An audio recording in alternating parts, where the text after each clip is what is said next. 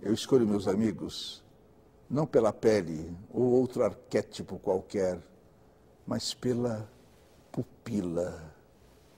Tem que ter brilho questionador e tonalidade inquietante.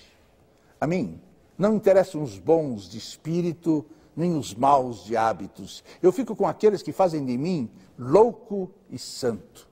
Deles, eu não quero resposta, eu quero o meu avesso, que me tragam dúvidas e angústias e aguente o que há de pior em mim. Para isso, só sendo louco, eu quero santos para que não duvidem das diferenças e peçam perdão pelas injustiças.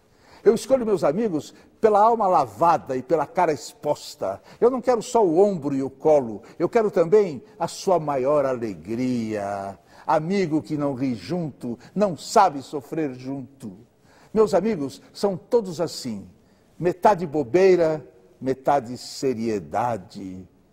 Eu não quero risos previsíveis, nem choros piedosos. Eu quero amigos sérios, daqueles que fazem da realidade a sua fonte de aprendizagem, mas lutam para que a fantasia não desapareça. Eu não quero amigos adultos nem chatos, quero os metade infância e a outra metade velhice.